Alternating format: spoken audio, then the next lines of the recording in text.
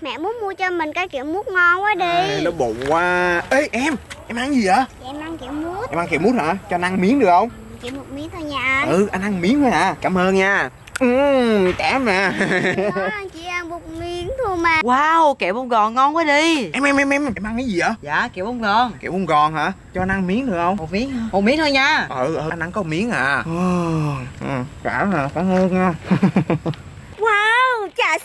lạnh nhìn ngon quá đi. Uống cái này ê, ê, ê chị ơi chị uống gì vậy? Trà sữa trứng dâu đó em. Trà sữa chân trâu ừ. chị cho em uống một miếng được không?